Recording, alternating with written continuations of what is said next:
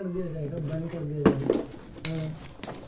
अर्चना जी बिल्कुल इसी सेटअप की वजह से थोड़ी ठोक ठाक की आवाज़ आ रही थी। उम्मीद है उतना तो बर्दाश्त कर ही सकते हैं आप। तुम्हें ढंग का दिखाने के लिए यहाँ पे कोई सुबह चार बजे से काम कर रहा है। सो नहीं रहा है। घर वालों शहनशाह बिग बॉस के दरबार में आप सभी का स्वागत है।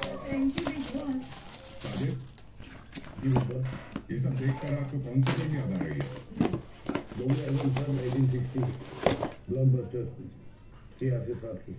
दीवार में चुनवा जाए, एक ही गाना था जो कलर में शूट हुआ था जब प्यार किया तो डरना क्या? मराठा मंदिर में, दो साल चली थी सर और कुर्सी अनारकली डिस्को चली में सेम मैंने यूज़ किया था सेम तो फिर आपको ये भी याद है ना कि अनारकली से नाखुश ने उनके साथ क्या किया था? दीवार में चुनवा दिया था। हाँ। तो बस यही आपकी आज की नॉमिनेशन की प्रक्रिया भी है। आज आप जिसे भी घर से बेघर करने के लिए नॉमिनेट करना चाहते हैं आपको उसे दीवार में चुनवाना होगा।